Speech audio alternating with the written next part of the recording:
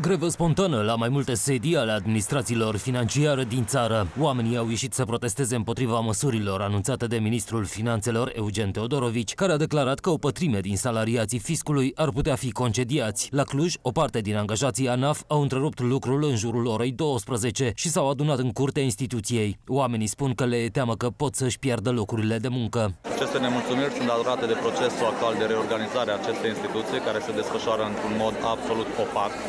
Nimeni nu știe nimic, nimeni nu știe dacă își va păstra actuala grilă de salarizare, nimeni nu știe dacă până de Crăciun va mai avea același post de muncă.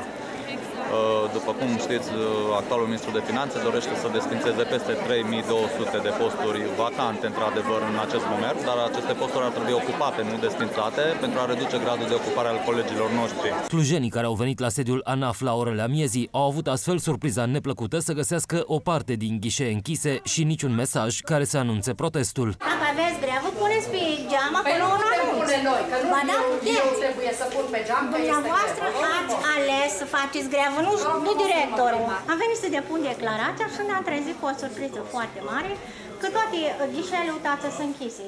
Nu au... Și nu era afișat nicăieri, niciun anunț că ar fi închise și noi s-a vorbit foarte urât și am spus să ne ducem la director, să întrebăm pe director. Pe urmă a venit o doamnă, o pilă de-a dumneavoastră, cred că i-o dat pe sub geam niște hârtii, știți, și o servit-o imediat. Și a zis, doamne, dar ce faceți aici? Adică sunteți în grevă și o serviți pe doamna și pe noi n-am înțeles. Și iar au vorbit foarte urât. Reprezentanții instituției spun însă că protestul care a durat circa o oră nu a afectat prea mult activitatea cu publicul. În acest uh, timp, uh, activitatea a decurs aproape normal. Nu s-a prea simțit la ghișee aglomerație sau alte lucruri care ar fi perturbat activitatea. Proteste similare au avut loc și la direcțiile finanțelor din Ploiești, Timișoara și Caraș-Severin.